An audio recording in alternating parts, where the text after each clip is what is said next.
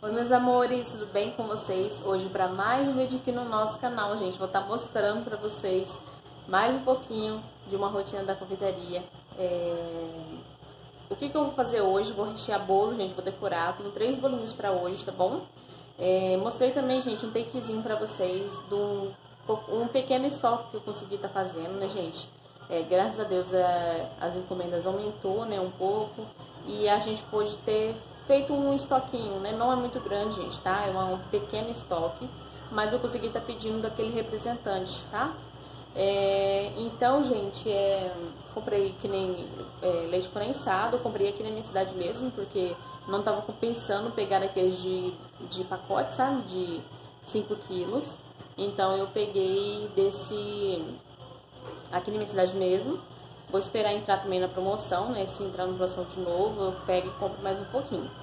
É, peguei o creme culinário, vocês sabem né, que eu gosto bastante de usar o creme culinário. Ele, pra mim, ele faz o mesmo efeito do, do creme de leite. E a, apesar de ser mais barato, né, gente? Foi R$7,99 naquele, é, naquele creme, é, creme culinário. E também, gente, é uma marca nova, então eu quero estar tá trazendo pra vocês. Se é bom, né? Porque assim, se, você, se vocês acharem, vocês podem estar comprando. Então, vou estar fazendo uma resenha pra vocês depois, quando eu for usar, tá bom? Dele. E é uma marca nova. Eu tava até procurando na internet, gente. Não, não consegui achar, sabe? Não consegui achar nem foto. Aí eu pedi pro, pro revendedor, né? Falei assim, se ele tinha alguma foto, né? Porque eu ia fazer um vídeo e eu não tinha nenhuma foto tal pra conhecer do produto. Aí ele me mandou. E pedi, gente, né? Foi cinco caixinhas do chantilly Amélia Mix e dois do Amélia Supreme, tá bom? E uma barra de chocolate. Aí eu mostrei pra vocês, com leite em pó, né? É, eu sempre coloco assim, que nem o leite em pó, que não é, é do ninho, né, gente? É, eu coloco naquele vidro de vidro. E porque assim, tem cliente que fala, ah, eu quero ninho, né? Então você tem que oferecer o ninho mesmo, né, gente? Então eu deixo separadinho pra. Que nem aquele outro lá, eu posso estar tá fazendo aquela areinha, pra mim tá colocando em cima do bolo, né? Algum detalhe, ou algum recheio que eu vou colocar. É, eu quero que ele pega ponto mais firme, eu coloco outro, tá? Porque o leite em pó ele tem esse efeito como se fosse o efeito do trigo, né, gente? A, a gente coloca o trigo nas receitinhas de recheio. Então, ao invés de eu usar o trigo, eu coloco o leite em pó, que ele também dá um efeito legal no, no no recheio, né? E pega ponto rápido. Então, fica a dica pra vocês, tá bom? Então, gente, ó, tô aqui com as minhas massas. Ó, são essas duas massas brancas e uma de chocolate que tá aqui em cima. Os recheios vão ser, gente, a, da massa de chocolate vai ser é, beijinho com doce de leite. E o outro vai ser... É, esses dois bolinhos da massa branca é para uma mesma pessoa, tá bom?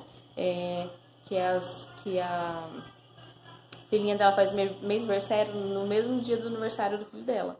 Então, gente, é vão ser dois bolinhos, tá bom? Para essa mesma pessoa. Um vai ser ninho com morango e brigadeiro e o outro beijinho brigadeiro. Então, eu vou mostrar pra vocês aqui, é, recheando o bolinho. Eu sei que vocês gostam demais, né? Então, chega de bababá, vamos lá, gente, vamos trabalhar, porque eu tô lavando roupa, vou limpar a casa, então quero mostrar, assim, é, para vocês. Se eu não gravar tudo aqui, gente, nesse vídeo é, específico, na limpeza da casa, eu sei que vocês gostam de assistir, né? É, eu vou, vou, tentar gravar é, separadinho para vocês, porque é a nossa rotina, né? Então a gente tem que mostrar pra, né, pra, vocês que tá aí do outro lado assistindo a gente, né? O, como que é, né, gente? Como que a gente faz. Que nem já coloquei feijão pra é, ficar de molho, lavei ele bem, gente, porque ele tava é, tem gente que não lava feijão, gente. Eu não, eu tenho um costume assim, eu cato e lavo bem, lavo bem, pra tirar toda aquela terrinha. Teve, tem, fica, gente, terrinha. Tem feijão que é bem, bem novinho, não fica, né? Mas a própria, tava vendo, a própria máquina que, que vai lavar ali, coisa, passar o feijão, ela suja o feijão. Então a gente, eu lavo, gente. É minha opinião, assim, eu não gosto de, de fazer arroz sem lavar, não gosto. E também feijão tem que lavar, gente, eu não consigo, tá? Então, já adiantei ali, que daqui a pouco já vou colocar pra cozinhar. E tô na correria doida, gente. Tanto aqui dentro de casa, é, fazendo as coisas pra casa, como a coisa da confeitaria também. Então, vamos lá, vamos trabalhar. Bom, gente, essas foram as coisinhas que eu comprei, que eu falei pra vocês. Esse creme culinário, esse é dessa marca Best, Best Baker, é muito bom, gente, sinceramente. É, se vocês acharem, eles podem estar tá comprando, porque ele é muito bom. Comprei, que nem falei pra vocês, eu deixo separadinho o leite ninho do leite em pó, tá bom? Que eu uso. E mostrei pra vocês também o leite condensado que eu tinha comprado e o trigo também. O trigo esse que eu uso é da Coamo, ele é muito bom. É, vou estar tá fazendo agora, gente, o mousse de o mousse de doce de leite, tá bom?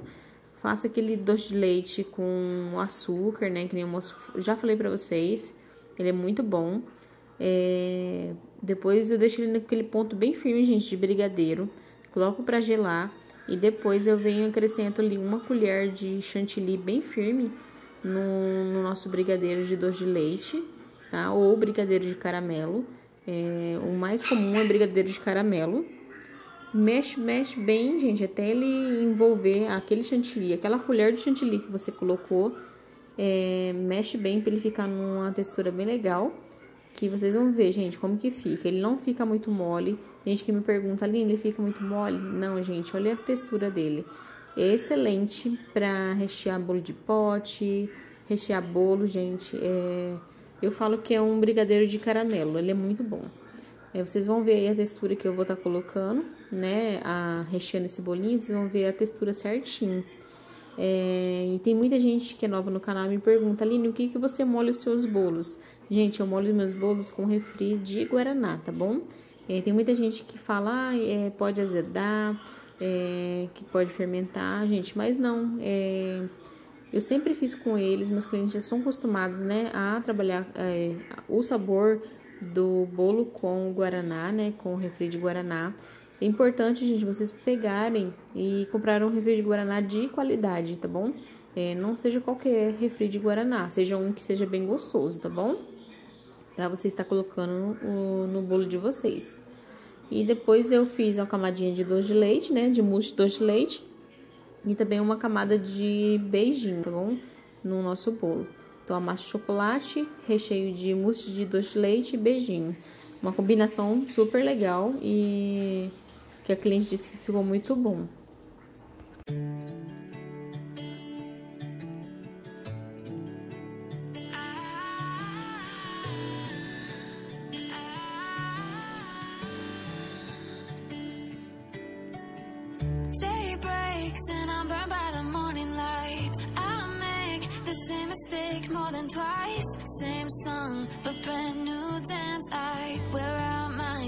Second chance. You take my breath and I can't get it back. Might be time for me to face the facts. The best me is with you, but I know I got a lot to prove. They think we're too damaged to fix, but we're just working through a little rust.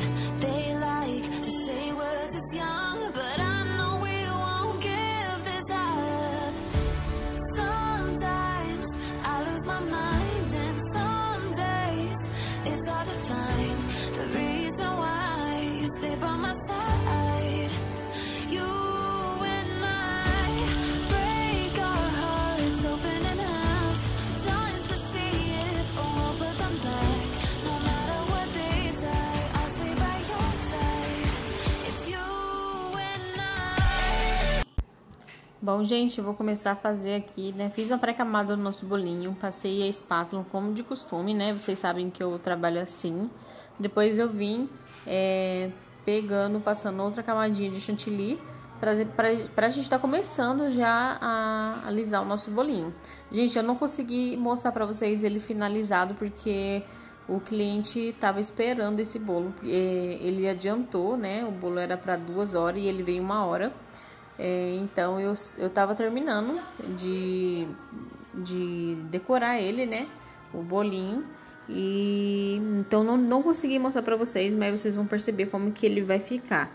Ele ficou todo branco com embaixo na parte embaixo azul, tá bom? Eu usei o glitter na bombinha e ele puro mesmo, tá bom, gente? E coloquei na, na parte de baixo do nosso bolo. É, vem, gente, depois que eu comecei a trabalhar assim, gente, ó, eu venho com a espátula em pezinha e venho passando na lateral do nosso bolo, assim, ó, tirando somente o excesso do, do bolo, gente, do, do bolo não, do chantilly. E fica, gente, dá super certo, fica bem legal. É, a, a, o bolo fica retinho, é, com mais facilidade. Porque antigamente eu tinha dificuldade de estar tá deixando o bolo retinho, sabe? Bonitinho. Tinha vezes ficava com a barriguinha, ficava meio estranho, né? E fazendo assim, gente, deu super certo. Nunca mais meus bolos ficou com aquela barriguinha é, de chantilly, sabe? De ter precisar tirar muito chantilly. Então, eu indico para você estar colocando com a manga de confeitar depois passa a espátula e depois já vem com, com a espátula daquela em pezinha, né, gente? Depois vem com a espátula alisadora e depois com essa azulzinha que vocês sabem que eu amo demais, que ela deixa o bolo super lisinho e vale super a pena, gente, que é a espátula de tampa de pote de sorvete, tá bom? Tem aqui no canal ensinando fazer o passo a passo dessa, dessa espátula. Eu venho e aliso bem, gente, para deixar um trabalho bem legal. Depois eu venho também com a espátula também, gente, de tampa de pote de sorvete, é, passando nas laterais, fazendo um trabalhinho bem legal. Em cima eu passei o pincelzinho mesmo para ficar um, um efeitinho diferente. E nas laterais foi com a espátula de tampa de pote de sorvete também, cortadinha. É, corta, cortei ela, tá bom, gente? Então eu venho ali fazendo um zigue-zague para ficar um trabalho bem legal. E vocês também tá, podem estar tá fazendo com a ponta da faca, vocês podem estar tá fazendo com um palitinho também, que dá super certo, tá bom? Eu tento mostrar para vocês, gente, que com pouco vocês conseguem estar tá trabalhando, que com pouco vocês podem estar tá fazendo é, o trabalho de vocês. Vocês não precisam ter tudo para vocês estarem é, trabalhando, né? Para vocês estar tá fazendo as coisinhas de vocês. Então, ele mais ou menos ficou desse jeito, tá bom? Que nem eu mostrei para vocês ficou todo branco e embaixo ficou azul. E esse aí, gente, é o bolinho da Magali, ficou muito legal, ficou numa textura incrível esse chantilly. Eu tô querendo trazer, gente, um vídeo passo a passo para vocês, assim, ó, da quantidade. Eu vou, vou pegar e vou bater meio litro de chantilly e vou, gente, é, marcar também a quantidade de leite condensado e a quantidade de chantilly, de, de chantilly líquido que eu vou usar para tá texturizando esse chantilly. Então, eu vou estar tá pesando tanto o chantilly, ele poroso, tanto como o, a quantidade exata também, gente, do chantilly líquido e do leite condensado. Então, vai ser um super curso bem legal para vocês, gratuito, tá bom? É, eu espero muito que vocês gostem. Então, vou estar tá trazendo para vocês nos próximos vídeos, é, vídeos assim de é, como deixar meu chantilly perfeito tá bom? É, como que tá sendo certo para mim, gente, eu quero também que dê super certo para vocês. Então, vocês ficam ligadinha nos próximos vídeos, que depois, eu, mais pra frente, gente, eu vou estar tá trazendo, tá bom? É, vídeos assim, ensinando a quantidade exata. Vai de chantilly para chantilly, que nem esse que, que eu usei, gente, foi o Amélia Supreme. Ele dá mais um trabalhinho de estar tá fazendo, é, deixando ele lisinho. Mas eu vou estar tá trazendo tanto do Amélia Mix, aquele da caixinha azul, tanto também do Amélia Supreme, tá bom? Então, eu vou estar tá gravando certinho para vocês a quantidade de líquido que a gente usa para estar tá hidratando. Porque deixar assim na, na quantidade certa, que dá certo para mim, tá bom? E vocês também podem estar deixando ele mais lisinho, o, da forma que vocês quiserem, né? Tipo assim, usar mais líquido também. Porque eu vou estar tá mostrando para vocês a forma que eu gosto de trabalhar, mas vocês podem estar tá colocando mais um pouquinho também, para estar tá deixando na textura que vocês querem, tá bom? É... Então, quero estar tá trazendo para vocês isso, porque tem muita gente nova no canal que tá é, começando, então não tem, é, não sabe, né, gente? Que nem eu falei para vocês no outro vídeo, quando eu comecei na confeitaria, eu não sabia que tinha que hidratar chantilly. Eu não sabia. Eu falava, nossa, eu perdi meu chantilly, porque eu não sabia é, hidratar o chantilly. É, eu tinha aquele. Falava, nossa, e agora? Ia lá, batia outro chantilly, porque eu não sabia, gente, sinceramente. Que nem eu falei pra vocês. Quando eu fazia bolo, era com aquele. É, chantilly, não, gente, era. Sabe aqueles, tipo, uns glacê de leitinho. Então, ele é molinho. Então não tinha essa eu não tinha que hidratar esse glacê. E já o chantilly não, o chantilly ele fica poroso. Ou também você pode estar tá deixando ele numa textura que você consiga estar tá trabalhando mais mais lisinho, né? Então eu venho passando a espátula, que nem mostrei para vocês. Venho passando a espátula na lateral todinha do nosso bolo. Depois eu amoleço, gente, um pouquinho do nosso chantilly com chantilly líquido mesmo, ou um pouquinho de leite condensado para estar tá deixando ele mais lisinho. Então esse é o segredo, gente. Vocês amolecem o chantilly, depois você vem, vocês vêm passando em todo o seu bolo aquele chantilly mais molinho, porque assim o seu bolo vai ficar bem brilhoso, vai ficar um trabalho bem acetinado, bem legal, tá bom? Então, ó, vocês podem perceber a quantidade que eu tô colocando, só estar tá deixando é, ele mais lisinho, mais uniforme, tá bom?